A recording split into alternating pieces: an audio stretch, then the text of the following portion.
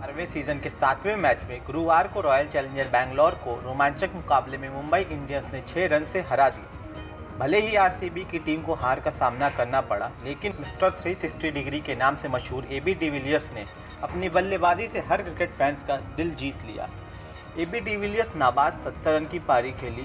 AB de Villiers ने अपने 70 रनों की पारी में 41 गेंद का सामना किया।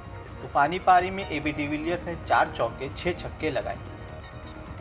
आपको बता दें कि ए एबी डिविलियर्स ने जो भी शॉट्स अपनी पारी के दौरान लगाए, वो हर किसी के दिल जीतने वाला था। यहाँ तक कि एबी ने आरसीबी पारी के 18वें ओवर में हार्दिक पांड्या की चौथी गेंद पर जो शॉट कवर की तरफ़ लगाया, वो बिल्कुल बाउंड्री के पार जाके गिरा। वो बिल्कुल ही अद्भुत था। जिसे देखकर पावेलियन में बैठे कोहली भी हैरान और खुशी से झूम उठे। एबी डिविलियर्स ने बेहद स्टाइलिश अंदाज में बैठकर कवर के ऊपर से दार्शनिक छक्का जमाया, जिसने पूरे स्टेडियम में मौजूद सिर्फ़ फैंस का ही नहीं, बल्कि हर क्रिकेट पंडित को भी कायल कर दिया।